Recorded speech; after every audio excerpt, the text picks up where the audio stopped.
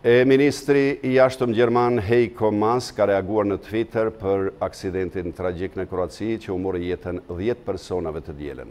Së bashku me miqtë tanë në Kosovë dhe Kroaci, ne mbajmë zi për viktimat e aksidentit të tmerrshëm të autobusit.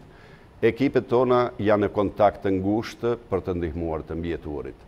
Ne tani kemi edhe një lajm të trishtë se në mesin e të vdekurve Është edhe një shtetas gjerman, ka shkruar Maas.